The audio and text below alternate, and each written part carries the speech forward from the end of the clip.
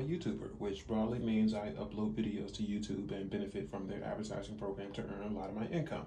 I've had this job for about five, six, seven years now. It's been weird. I make videos. It's like a show where I do sketches and I talk to the camera sometimes. So yeah, it's definitely weird. But my videos run against ads and the money trickles down. It you know, it's passive but it's active, it's slow, but it's compounding. It works for me for now. Outside of this channel, of course, I've done other projects. I've been on some big budget shoots. I've been in a couple of commercials over the years. All in all, I'm what the industry calls an influencer. Not that I influence people and people follow everything I say, but that I have a large following and I've been able to work with brands because of it. It's what people like me are called. So that's my job, I guess. Except, wait, no, I used to be a Viner, and the Vine app doesn't exist anymore. So it's not like I have a job, it's more like I have a conditional gig that relies on the survival of platforms like YouTube, like Vine, like TikTok. YouTube might not always exist. You know, it might, but it might not. Also, I'm not just on YouTube. I have accounts on other platforms too. Also, the internet itself could shut down or re-regulate. So do I have a real job? Like, how do I tell? When I talk to my dad, he sometimes talks about his real job. Like he works during the week, he gets up, he puts on a white collar and commutes to the office. You know, he gets benefits and insurance and paid vacation days, all that good stuff a real job. Obviously, YouTubers and TikTokers and wish washers, you know, they can make a lot of money too when there's influencers on the Forbes list and internet creators with mansions and Twitch gamers with sports cars. You could argue that as soon as you make enough money as an influencer or content creator to support yourself and your family and pay all your bills, of course you have a real job. You know, you're surviving on the back of that channel that you built up in the community that you've created. But all of that still doesn't negate the fact that as an influencer, you're vulnerable to the platform that you're on. You know, it could shut down or it could shut your account down, it could blacklist your content. The more things that your job is vulnerable to, the shorter amount of time that you're likely to have it and the less it feels like a real job, a permanent job. So, how do you make it permanent? It's going to depend on the situation. A moment ago, I mentioned the Forbes list. A lot of those influencers got there not from just getting clicks and views, but by creating their own products and companies and intellectual properties. You can diversify. You can save up money and put it into an apparel business, into a label, into real estate. You know, you can put it into crypto.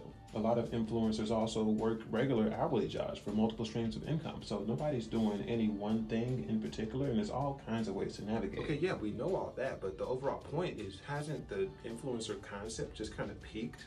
What do you mean? Like with superheroes. Superheroes. Yeah, like how people started making superhero movies and then we couldn't stop making superhero movies. And then there were comedy superhero movies and dark superhero movies and space superhero movies and superhero sitcoms. Yeah, yeah, the overload. I get it. I get it. And now it's influencer this and influencer that. And every kid wants to grow up and be a YouTuber and be famous. It's like back in the 80s when everybody wanted to be a DJ, probably. Is that what people were doing in the 80s? I don't know. How old are you? How old are you? What are you doing here? I'm here to talk about a sponsor. Oh, if you want to break into any industry and become an influencer, or basically if you want to embark on anything challenging, it's going to take a lot of planning, a lot of top down thinking, a lot of strategy.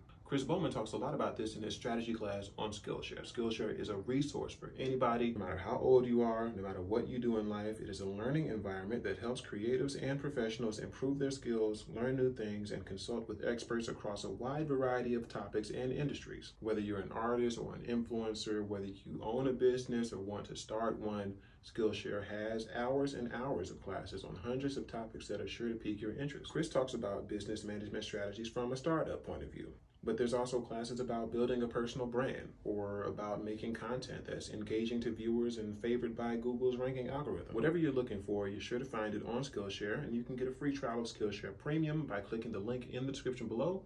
Check the description, links in there. The first 1,000 people to click the link can get a free trial of Skillshare. After that, it's around $10 a month. Thank you to Skillshare for supporting this video. Okay, so I just did the influencer thing, the ad break thing during a video talking about influencers. Feels kind of weird, right? All right, hold on to that feeling because that's what I'm going to talk about next. A lot of influencers have reservations about being called that, that business term, influencer. Now, I'll grant that it is an accurate description. I did do an ad break just now, but sometimes it feels like there's some negative connotation to the word influencer. In some corners, being called an influencer implies that your only purpose is to sell yourself out to advertisers and be loud and influence your audience audience into watching ads. But the fact is, a lot of people who find themselves becoming influencers did so by exploring a hobby or building up an organic community around something they like to do.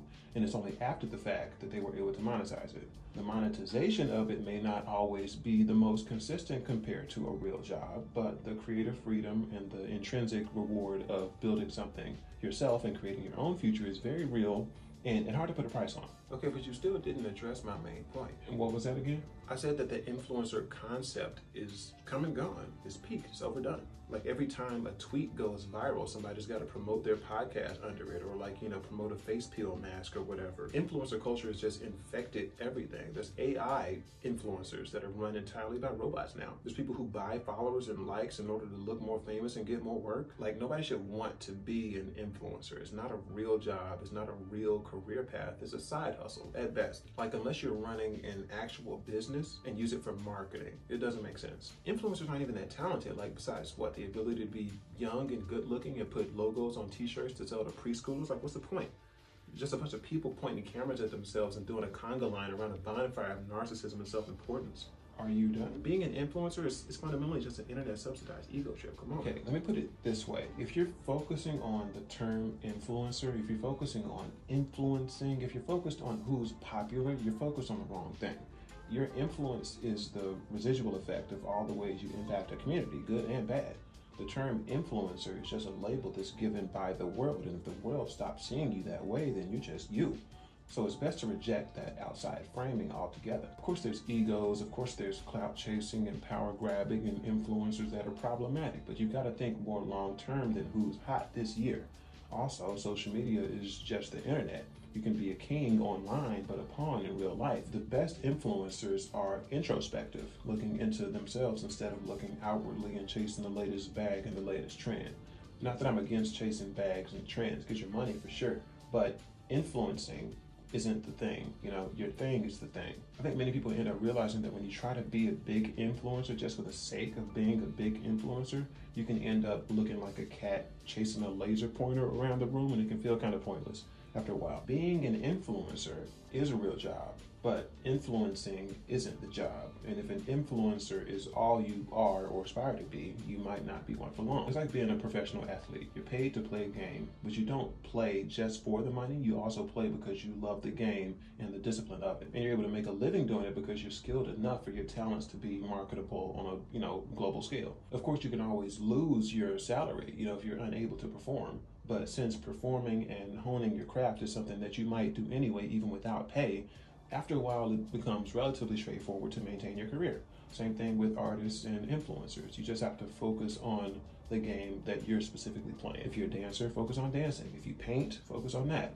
Don't change yourself to fit a mold or an algorithm. Only change yourself to further your own development. Do you hear yourself right now? What's wrong? You're acting like everybody's an artist and does everything for the love of creativity.